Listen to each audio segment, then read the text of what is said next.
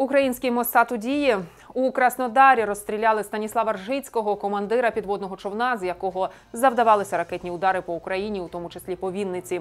За попередніми даними 42-річного Ржицького застрелили напередодні о 7 ранку під час пробіжки біля спорткомплексу Олімп у Краснодарі.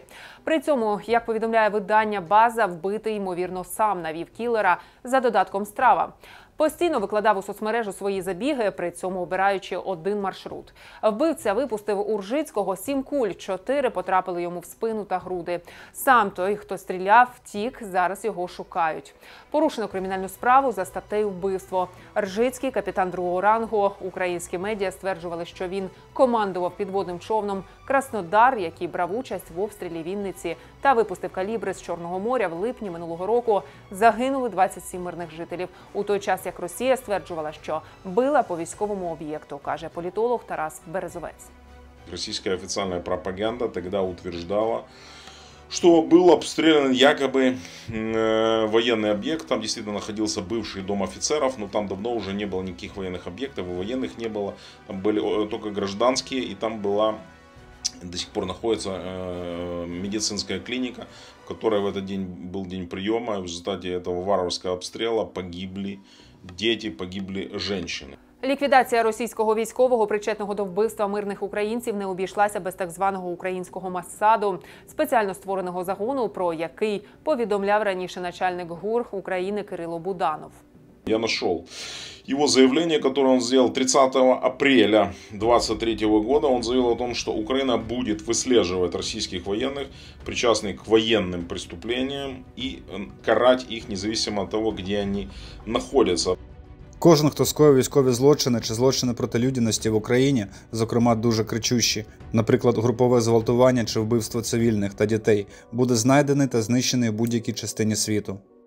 Українська розвідка має інформацію про всіх командирів підводних човнів, які наказували запускати ракети по мирному населенню України. Це командир підводного човна Ростов на Дону Олександр Олексійович Олександров, капітан третього рангу. Командир підводного човна Колпіно, капітан другого рангу Сергій Вікторович Нерусін, 32-річний капітан-лейтенант, командир підводного човна Старий Оскол Олександр Дудукін, командир підводного човна Великий Новгород, капітан другого рангу Сергій Михайлов, 34-річний командир підводного човна Новоросійськ, капітан третього рангу Ігор Шведа, начальник штабу 4-ї окремої бригади підводних човнів Чорноморського флоту, капітан третього рангу Олексій Пашинін. Костянтин Табачний, капітан другого рангу, командир Севастопольського дивізіону підводного човна. Про цих людей та членів їхніх сімей відома вся інформація, незважаючи на те, що вони всіляко намагалися приховати її, каже політолог Тарас Березовець. Тим часом у Росії так і не надійшло інформації про долю генерала Сергія Суровікіна. Пише телеграм-канал ВЧК ОГПУ. Рідні нарікають, що нікому з них просто по-людськи ніхто так і не пояснив, що відбувається, і вони перебувають у повному невіданні. Дружина Суровікіна закрилася від усіх, навіть від найближчих. Дочка не може зрозуміти, де її батько. Соратники генерала Армагеддона переживають, що почесного члена ПВК Вагнер можуть позбутися, обставивши все як інфаркт міокарда. Кілька років тому у Сергія Суровікіна було діагностовано проблеми з серцем. Напередодні, вперше після заколоту Пригожина, з'явився на публіці глава генштабу РФ Валерій Герасимов.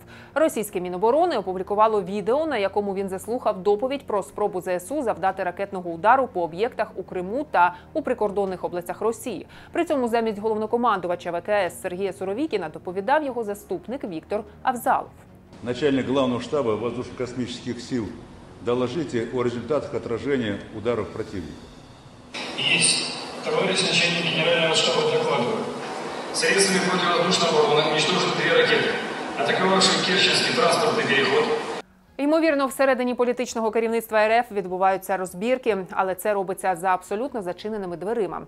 Що логічно, адже зайвий шум та проблеми Путіну зараз не на руку, каже російський опозиціонер Геннадій Гудков. Понятно, что никто из них, практически, кроме Шойгу, там где-то мельком, не появился на публике после вот этого вагнерского мятежа. До сих пор не появился ни генерал Суровикин, ни генерал Миземцев, ни, никого из них никто нигде не видел, и судьба их неизвестна. Існує ще один список людей, на яких Росія відкрила полювання. Це опозиціонери, які виїхали за межі РФ, каже полковник ФСБ у відставці, російський опозиціонер Геннадій Гудков. Возможно, это список не, не путинский, а какого-нибудь там ФСБ. Возможно, это список какого-нибудь там главного управления разведки, э, где там Петров и Баширов э, рассекали раньше по стране вместе со всеми прочими своими коллегами по убийствам и взрывам и пожарам. Мы знаем, что только что проведена диверсионная акция в Болгарии в очередной раз. Взорван завод, принадлежащий известному бизнесмену Гебреву, который дважды был, которого дважды пытались убить, к счастью, выжил. Э, И у него дважды взрывали э, позапрошлом, нет, в прошлом году заводы, вот сейчас третий взрыв. Ну, вы знаете еще про заводы в Чехии и так далее. То есть, в общем-то, ну, угрозы есть, конечно. Видимо, мы э, сильно раздражаем режим, Схоже, у Росії запустився процес розколу еліт та ослаблення Путіна, і це може призвести до смутного часу, як це неодноразово бувало в Росії після невдалих воєн, вважає британський експерт з безпеки Едвард Лукас. А що про це думаєте ви? Пишіть у коментарях, а також підписуйтесь на наш телеграм-канал, щоб знати всі новини про війну.